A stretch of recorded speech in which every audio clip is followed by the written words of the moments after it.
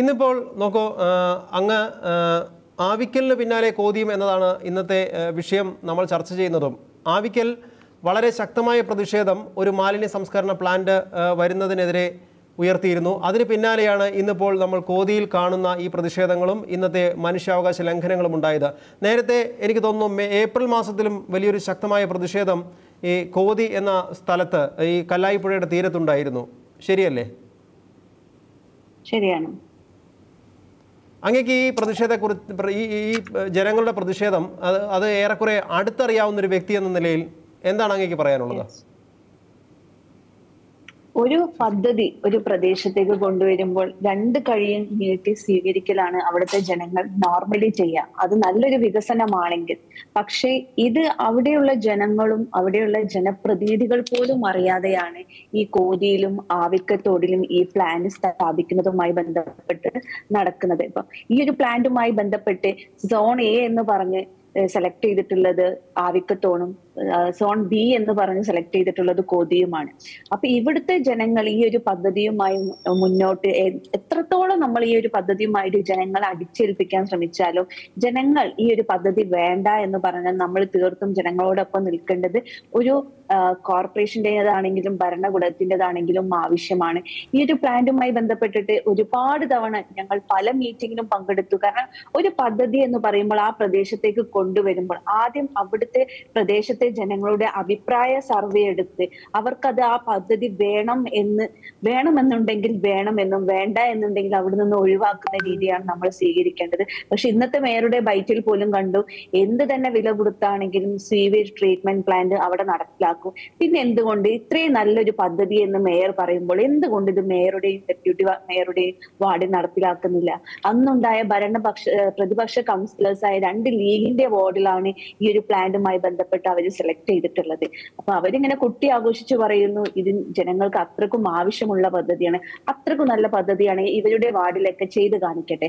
അത് സക്സസീവ് ആയ നമ്മളെ പോലെയുള്ള സാധാരണ ജനങ്ങൾ തിങ്ങി താമസിക്കുന്ന ഏരിയയിലേക്ക് ചെയ്യാം. ഞങ്ങൾ ഈ ഒരു പ്ലാന്റ് എതിർക്കാനുള്ള കാരണം ആരും ഒരിക്കലും എസ് ടി പി പ്ലാന്റ് വരുന്നത് എതിർക്കില്ല. കാരണം അതൊരു സിറ്റിയിൽ ഈ വളർന്നു വരുന്ന സിറ്റിയിൽ ആവശ്യമായിട്ടുള്ള ഒരു സംഭവമാണ്. പക്ഷെ അതോടൊപ്പം തന്നെ ഈ ഒരു പ്ലാന്റ് വരുമ്പോൾ ഒരുപാട് ദൂഷ്യവശങ്ങളുണ്ട്. കാരണം ഈ ഒരു വെള്ളയിൽ ഏരിയ കോതിയൊക്കെ ഒരുപാട് മത്സ്യത്തൊഴിലാളികൾ തിങ്ങി താമസിക്കുന്ന സ്ഥലമാണ്. അപ്പൊ ആ ഭാഗത്തേക്ക് ഈ ഒരു പ്ലാന്റ് കൊണ്ടുവരുമ്പോൾ ഇവർ ഈ ട്രീറ്റ് ചെയ്ത് ഒഴുക്കി വിടുന്ന വെള്ളം കംപ്ലീറ്റ് ഹാർബറിലേക്കാണ് പോവുക. അത് നാളത്തെ നമ്മുടെ മത്സ്യസമ്പത്തിനെ ഒരുപാട് വലിയ രീതിയിൽ തന്നെ ബാധിക്കാൻ സാധ്യതയുണ്ട്. അതുപോലെ തന്നെ ഈ വെള്ളയിൽ നിന്ന് പറയുന്നത് ഒരു അഞ്ച് ഒരു മണിക്കൂറെങ്കിലും കണ്ടിന്യൂസ്ലി മഴ പെയ്തിട്ടുണ്ടെങ്കിൽ വെള്ളം കയറുന്ന ഒരു സാഹചര്യമാണ്.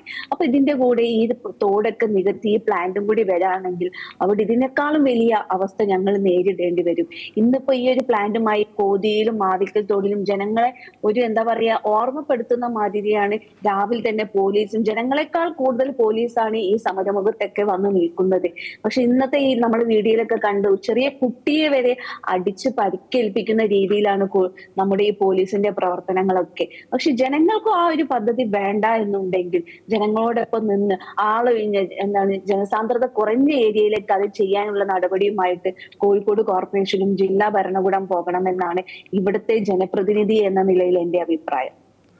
മാഡം സൂഫിയ അനീഷ് അങ്ങ് ആവിക്കൽ എന്ന് പറഞ്ഞ സ്ഥലമാണ് കൂടുതൽ അങ്ങയുടെ വാർഡിൽ ഉൾപ്പെടുന്നത് അല്ലെ ഡിവിഷനിൽ ഉൾപ്പെടുന്നത് എന്ന് ഞാൻ മനസ്സിലാക്കുന്നു. അതിനെക്കുറിച്ചാണ് അങ്ങ് കൂടുതൽ കാര്യമായി പഠിച്ചിട്ടുള്ളതും. എന്താണ് ആവിക്കലിന്റെ ഇപ്പോഴത്തെ ഒരു സ്ഥിതി? അവിടെ നിർമ്മാണ പ്രവർത്തനങ്ങൾ നിർത്തിവെച്ചിരിക്കുന്നു എന്നാണ് ഞാൻ മനസ്സിലാക്കുന്നത്. ആ അവിടെ നിർമ്മാണ പ്രവർത്തനങ്ങളൊക്കെ ജനങ്ങൾ തടഞ്ഞ് അത് മൊത്തമായിട്ട് നിർത്തി വെച്ചിട്ടുണ്ട്. കാരണം ഞങ്ങൾ അവിടെയുമായി ബന്ധപ്പെട്ടിട്ട് ഒരുപാട് കാര്യങ്ങൾ ഞങ്ങൾ നേരിടുന്നുണ്ട്. ഒന്നാമത് വെള്ളം കയറിയ മഴ പെയ്തിട്ടുണ്ടെങ്കിൽ വെള്ളം ഒരുപാട് അത് മുന്നൂറോളം വീടുകളിലേക്ക് വെള്ളം കയറുന്ന ഒരു സ്ഥിതിവിശേഷമാണ്. അതുപോലെ തന്നെ നമ്മുടെ ഹാർബറിനെ ബാധിക്കുന്ന ഒരു വിഷയം. പിന്നെ നമ്മുടെ കോർപ്പറേഷനൊക്കെ ഒരുപാട് പദ്ധതി കൊട്ടി ആഘോഷിച്ച് കൊണ്ടുവരാറുണ്ട്. പക്ഷെ ഒന്നൊരു പ്രോപ്പർ ആയിട്ടുള്ള ചാനലിൽ പോയിട്ടില്ല. അതുകൊണ്ട് തന്നെയാണ് ഇത്രയും വലിയൊരു കോടി വാർഡിന്റെ പ്രൊജക്ട് ഇവിടെ കൊണ്ടുവന്നിട്ട് നല്ല രീതിയിൽ പോയിട്ടില്ലെങ്കിൽ അവിടുത്തെ ജനങ്ങൾക്ക് നാളെ വരും തലമുറയ്ക്ക് അവിടെ താമസിക്കാൻ പറ്റാത്ത സ്ഥിതിവിശേഷമായിരിക്കും നിലവിലുണ്ടാകുക ഈ ഒരു പ്രൊജക്റ്റുമായിട്ട് നമ്മുടെ കോഴിക്കോട് കോർപ്പറേഷൻ തന്നെ എല്ലാ ഭരണസമിതിയും അതുപോലെ തന്നെ സർവകക്ഷി ആളുകളും കൂടി യോഗം ചേർന്നിട്ടും അവിടെ ഏറ്റവും കൂടുതൽ ആളുകൾ തൊണ്ണൂറ്റൊൻപത് ശതമാനം ഇതിനെ ആളുകൾ എതിർത്തിട്ടുണ്ട്. പിന്നെ നമ്മുടെ ഒരു ഭരണകൂടത്തിന്റെ അടിസ്ഥാനം ഒരു വാർഡ് സഭ. നമ്മുടെ വാർഡിൽ വെച്ച് വാർഡ് സഭ നടന്നിട്ട് പങ്കെടുത്തതിൽ ര- ഒരു ആൾ മാത്രമാണ് ഈ പദ്ധതി വേണമെന്ന് പറഞ്ഞത്. അത് അവരുടെ പാർട്ടി അനുയായി. ബാക്കി എല്ലാവരും ഈ പദ്ധതിയെ എതിർത്ത് നമ്മൾ വാർഡ് കമ്മിറ്റി കൂടി മിനിറ്റ്സ് വരെ കോർപ്പറേഷനിൽ നമ്മൾ ഹാജരാക്കിയിട്ടുണ്ട്. പക്ഷെ അതുപോലും അംഗീകരിക്കാതെയാണ് കോർപ്പറേഷൻ ഇനി നടത്തുന്ന ഓരോ നീക്കങ്ങളും. ഇന്ന് മേയർ പറഞ്ഞിട്ടുണ്ട് കോതിയെ പോലെ ആവിക്കത്തോടിലും ഇത് നടപ്പിലാക്കുമെന്നുള്ളത്. ഇന്ന് നടന്നതിന്റെ നാലിരട്ടി പ്രശ്നങ്ങളായിരിക്കും നാളെ ആവിക്കത്തോടിൽ വരാണെങ്കിൽ കോഴിക്കോട് കോർപ്പറേഷൻ നേരിടേണ്ടി വരിക. എന്ത് വില കൊടുത്തിട്ടാണെങ്കിലും ജനങ്ങളോടൊപ്പം നിന്ന് ഞങ്ങൾ ആ പ്ലാന്റ് വരുന്നതിന് ഒട്ടും തന്നെ അനുവദിക്കാൻ പോകുന്നതല്ല. ഒരു ഡിവിഷനിലെ അല്ലെങ്കിൽ ഒരു വാർഡിലെ അടിസ്ഥാന ആവശ്യങ്ങളുമായി ബന്ധപ്പെട്ട് ജനങ്ങളെ ബോധവൽക്കരിക്കുകയും ജനങ്ങളുടെ ആവശ്യങ്ങൾ മേൽത്തട്ടിലേക്ക് അറിയിക്കുകയും ചെയ്യേണ്ട ഒരു പ്രാഥമിക ഘടകമാണ് ഗ്രാമസഭ. ഈ ഗ്രാമസഭ അംഗീകരിക്കാത്ത ഒരു വിഷയം നടപ്പിലാക്കാൻ ഇവർക്ക് എങ്ങനെയാണ് സാധിക്കുന്നത് സാങ്കേതികമായി? അതിനുള്ള ഒറ്റ കാര്യം നിങ്ങൾക്ക് ഞാൻ ഫസ്റ്റ് തന്നെ പറഞ്ഞിട്ടുണ്ട്. ഈ ഒരു പ്രൊജക്റ്റുമായി ബന്ധപ്പെട്ടിട്ട് ഒരു പ്രൊജക്ട് ഇംപ്ലിമെന്റ് ചെയ്യുമ്പോൾ ആദ്യം അവിടുത്തെ ഒരു കൗൺസിലർ അവിടുത്തെ ജനപ്രതിനിധി അതുപോലെ അവിടുത്തെ നാട്ടുകാരെയും മാനിച്ചിട്ടായിരിക്കണം കോർപ്പറേഷൻ ഈ പദ്ധതിയുമായി മുന്നോട്ട് പോകേണ്ടത് പക്ഷെ ഇതൊന്നും ചെയ്യാതെയാണ് ഈ കൊറോണ സമയത്ത് ഇതിന്റെ എല്ലാ ഫയലുകളും നീക്കി കാര്യങ്ങൾ ടെൻഡർ സ്റ്റേജിൽ എത്തതിന് ശേഷമാണ് കൗൺസിലറും അവിടുത്തെ ജനങ്ങളൊക്കെ ഇങ്ങനെ ഒരു പദ്ധതി അവിടെ വരുന്നുണ്ടെന്ന് പോലും അറിയുന്നത്. അവിടെ അവർ സോയിൽ ടെസ്റ്റിന് വന്നപ്പോഴാണ് ഞങ്ങൾ എല്ലാവരും ഈ വിഷയത്തെ പറ്റി ആരായുന്നത് അതിനുശേഷമാണ് ഞങ്ങൾ അടിയന്തരമായിട്ട് ഗ്രാമസഭ കൂടുകയും അതിൽ ഒരാൾ മാത്രം ഇവരുടെ പാർട്ടി അനുയായിട്ട് ഒരാൾ മാത്രമാണ് ഈ പദ്ധതിയെ അനുകൂലിച്ചത്. ബാക്കി ഇത്ര ആളുകൾ എതിർത്തിട്ടും ഇവർ ഈ ഒരു പദ്ധതി നടപ്പിലാക്കുമെന്നുള്ള വാശി തന്നെയാണ്. പക്ഷെ വാശി എന്ന് പറയുന്നത് അവരുടെ പാർട്ടിയുടെ പ്രസ്റ്റീജ് ഇഷ്യൂ ആണ്. അല്ലാതെ വേറൊന്നുമല്ല. കാരണം അവർക്കൊരു പദ്ധതി നടപ്പിലാക്കാൻ കോഴിക്കോട് കോർപ്പറേഷൻ എത്രയോ കാലമായി സി പി എമ്മിന്റെ കയ്യിലാണ്. അവർക്ക് ഈ ഒരു പദ്ധതി നടപ്പിലാക്കണം എന്നുള്ള ഒരു വാശന അതും ഈ രണ്ട് വാർഡ് എന്ന് പറയുമ്പോൾ കോസ്റ്റൽ ഏരിയ ആണ്. അതുപോലെ തന്നെ കൂടുതൽ മുസ്ലിം കമ്മ്യൂണിറ്റീസ് ഉള്ള ഒരു ഭാഗമാണ്. യു ഡി എഫിന്റെയും കൂടി നല്ല ബലമുള്ള രണ്ട് വാർഡുകളാണ് ഈ കോതി എന്ന് പറയുന്നതും അതുപോലെ തന്നെ വെള്ളയിൽ എന്ന് പറയുന്നതും.